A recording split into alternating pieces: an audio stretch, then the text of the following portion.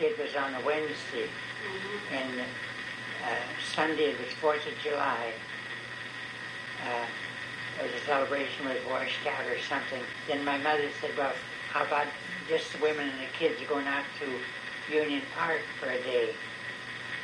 That was a, a, a real treat.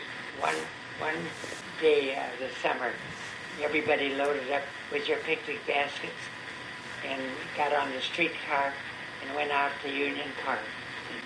It cost a whole nickel to go out. What I could remember of it was we left home. It was oh, it was so hot that day. It was, and of course you dressed up in your Sunday best. You wore your best clothes to the park, and then you took your old to play in. And I was all ready, and I was busy waiting. I can remember walking back and forth, and I was seven years old at the time. And we went in the streetcar. Well, we got to the park, and then we met the the rest of the relatives there, like Aunt Fern and Aunt Nell and their families. Yeah. And got the, you know how you pick out a pavilion? Mm-hmm. You think which is the best? And they picked this one out. I guess it was a, the biggest one. There were so many of us. Used to like to go in the cave out there. And then there were oodles and oodles of swings and rides, you know. The cave wasn't the biggest attraction, but all the rides they had for kids. And that's what you really did, you know, go on all the rides. And the park was really quite long. the, the really the thing I remember is playing in the pool. Yeah. That's the big was the big thing for me, just playing in that wading pool. but it started to rain, and uh, so my mother said, uh, "You kids better get in this pavilion, and get your feet washed, and get your clothes on, because we're going to leave the parkway. There's terrible storms coming in." So they all come into the pavilion and, and you know wash their feet off and put their good clothes on, and uh, then it started to rain terribly hard and uh, they, they, we had picnic baskets, and the women all started, you know, loading up the stuff. Well, by the time everybody was in that pavilion, and uh, they were all ready to go, why all of a sudden Just like that, just like a tornado, you know. we looked up, and there's this great, huge wall of water, it, and I mean huge, well, wall of water, all mud, just came on down that valley. And I remember her mother saying, "We better start saying the rosary. We're in danger." We were. We started to say. We And did say that. we started, started saying the rosary. Well, we the the older people start looking out after the younger people go because I remember my mother. See, my brother was only three. She had him, and my grandmother. She had me and my sister, and we were leaning against the railing there because they the women said, "Well, we have to stay on this side of the pavilion because when the water gets so high, it's going to take it." And we don't want to go on the other side because there's sewers over there mm-hmm. and we don't want the bodies washed in the sewer. But within, within just a few minutes, why just wall of water just came down and washed everybody, body and soul, and picnic baskets and everything right out of that pavilion. Graham still had a hold of me, and a big plant came along and knocked my sister from my grandmother's arms. So my sister was floating by herself, and she got caught in something, I don't know what. Of course, naturally, she drowned. And then uh, I remember Graham and I were floating, and I was busy swallowing water, and somebody reached down and pulled us up onto a plank. One of the workmen. I could swim. And, and uh, you kept looking for something to grab onto. Everything was coming, chairs and, and everything. The wood of that pavilion was all torn apart. And uh, there was a, a big tree, and my youngest sister was washed up into that tree. I can remember sitting on that slide and all that water underneath. And it sat and sat until some men, when the water went down, some, a man came out and uh, took me off of that sign and carried me ashore. I, I guess I was so scared. I, if I would have hung on to that, I'd probably drop under that bloody water. And that, that theater, that, after the flood just went right through it, you know. And, uh, and her mother and, and sister and little brother washed through that theater because the water was there so forceful that the rest of us, we were washed on down. And they were building a roller coaster out there. And there was a, a lot of lumber. There were, I know, there were quite a few workmen out there that day. So this lumber hit this roller coaster and uh, it slowed down the, the flow of the water, you know. And uh, all I can remember is scrambling up on the top of that uh, that pile of wood, and, my sister was there. Well, after we were rescued, see, uh, there were these benches up on the side of the hill, and I don't know how I got up there, or even how my mother got up there, but I know I was sitting on the bench alongside of her, and she was, you know, where's Bertie at? Why doesn't Bertie come? So then my Aunt Nell came over and she said, well, they found Bertie, but she's dead. And but she said, now don't feel bad about it. She said, she said, I lost one too. And I know my mother just really went into a terrible hysterics. Because we're her oldest child, you know. And there was a bond between those two. As soon as they pulled me out of the water, some woman had me. I think it was up to that house, you know, where they were taking care of everybody. And they kept fanning me and saying, don't go to sleep, don't go to sleep. And then this lady was holding me on the streetcar. Don't go to sleep, don't go to sleep. Well, then I didn't know anything until I didn't know I was in the hospital. I don't even remember who took me home out of the hospital. But I thought it was so funny my mother wasn't there to be with me. And I know told me she was dead or anything. Not, but I remember the three caskets were in the living room at home. Somebody carried me in there to look at them. Yeah, the sad part of it is those people are, you know, were so helpful and yet they're, now they're forgotten. You know? See, the, those men really never got the credit that they deserve. No, they really That, didn't. you know, saved so many people out there. Well, I don't know who pulled me out. And my grandmother, because we were still together, the two of us. I said, it's reward in heaven. Yeah, same. There's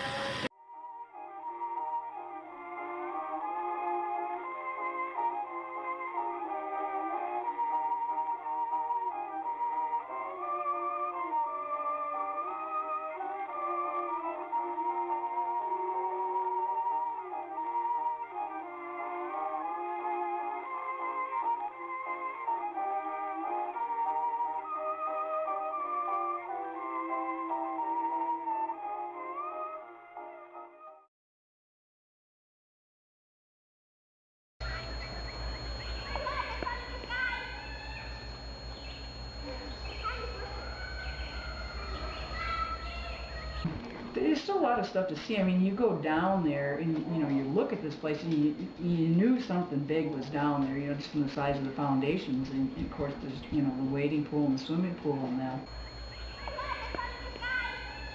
Well, the general area that we're in right now is known as the Loop. This was where the trolleys came in from town and they came up through the valley where 52 is, up this way, and they came in on the right and circled around. And there was a big elaborate waiting station in front of us and they let people off at the waiting station. It was covered, sheltered. They had benches and such underneath so you could wait out of the rain or the sun. Uh, the people would get off the trolleys and then the trolley would exit and go along the left hand side of the loop and go back down and it took approximately about 20 minutes to ride all the way out to the park. Uh, the area behind us here was where the caretaker's house was located. It was called the Lodge. Joseph Bonds and his wife and his 11 children lived here at the park. The house was provided by Union Park. Uh, he was in charge of maintenance and uh, he was a big horticulturist, so he had greenhouses in back of his house, and he was in charge of all the plantings and taking care of the shrubbery and whatever needed to be to be done. Um, like I said, his greenhouses were up behind there. Uh, you don't see anything left. The only uh, evidence that there's a house is there's an old root cellar back up in the hillside that they used to keep perishables cold and that. Um, the big tree here in front of us is a white pine, and that was an original planting that they had put in the ground when the park was opened. And when they put it in, it was probably only maybe five, six foot tall, and you can see now over the years how much that tree has grown. So it's well over 100 years old easily. All right, the area we're in now was known as the Roller Coaster Valley. Uh, they had a huge wooden roller coaster that ran up the valley and back down. It was, as I said, made out of wood and it was real rickety, but we have a photograph of it and it shows, oh gosh, I don't know, it looks like it's at least probably 20 or 30 foot tall. It was quite an attraction down here. Uh, you took uh, a token to ride it. it. They didn't charge money, you bought a token to ride on it and I'm not sure how long it took, but it was probably long enough to scare the pants off you if it shook back and forth as much as some old people have told me. But the area that you're looking at now is known as the fish pond. And the name fish pond is kind of uh, incorrect because actually what they were used for was water reservoirs.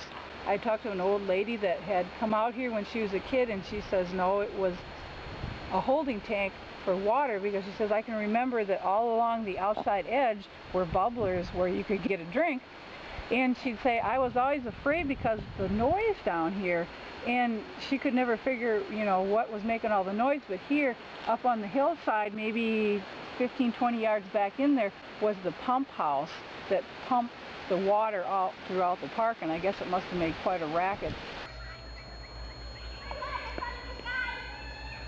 The area that we're in now was one of the most well-developed areas of the park. Right over in that direction there, there was a dance pavilion. Um, people could come and dance or sit and listen to music. It was a completely covered in structure. Uh, across the creek there was a bowling alley. Um, right out in front where the bridge is, they had a little refreshment stand, an ice cream stand. Uh, this was all terraced off and uh, benches, there's a planter in front of us that was uh, a lot of shrubbery and trees in that. Uh, the sidewalk would have run up right to the dance pavilion and on either side they had small ponds with marble fountains in them. Up on the hillside on opposite the sidewalk there was a structure called the Rustic Bandstand, the first Rustic Bandstand. It was an open air type thing. It was built uh, Adirondack style all out of wood and various musical groups would play music so the picnic goers and people out here would have a little entertainment. Um, you can see the steps going up the hill which would have led to the rustic bandstand and uh, trails and everything up behind it. And on this side would have been all lined with benches and people could sit and watch uh, picnic goers walk by, listen to the music. But What's left of the structure we're looking at now was once the Mammoth Theater. Uh, this was the largest theater at that time in uh, 1909 when it was built west of the Mississippi. So it was a huge, enormous uh, building. It stretched from one side of the valley all the way over to the other side. Uh, it held like 1,500 people inside of it. Uh, there was various forms of seating. Uh, the inside they had nice cushioned upholstered seats that would cost you 15 cents if you didn't want to spend that much. The next level back there was wooden bleachers. And if you wanted to see the show for free, the back end of the theater was completely open and you could sit on bleachers outside and look right straight in. Back when they built it, cost $15,000 to build. Uh, quite popular with the park goers. There would be musical acts, uh, plays, different forms of entertainment down here. Before us is what's left of uh, one of the sidewalks that ran through the park and As you can see, it's pretty much broken up and, and, and shattered. Uh, back when the park was open, though, this would not have had water on it. Over the years, the water picked the easiest course to come down and it picked the sidewalk. Actually, when the park was open, the creek was on the opposite side of where we are now and ran along the back of the hillside. So this area here was a lot flatter and more open too and from the creek being down here it's uh, deposited a lot of soil and silt and that over the years so the, the ground has gotten built up. You can see what's left uh, sticking out of the ground of one of the original iron lampposts. The bottom of that is probably at least four foot down so you can see over time how much this area has built up. This particular area that we're in now was known as the Children's Playground. This was one of the most popular areas at the park. Uh, they had a wading pool, which is here in front of me. Actually, this one was built in miniature to one in Ogden Park in Chicago. It is about a foot deep on the curved end and then a few inches deep up on the other end.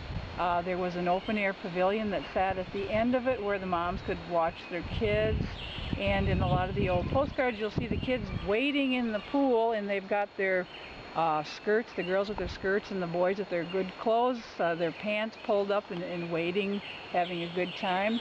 Um, up above it, there would have been a lot of the swings and slides and, and merry-go-rounds and that.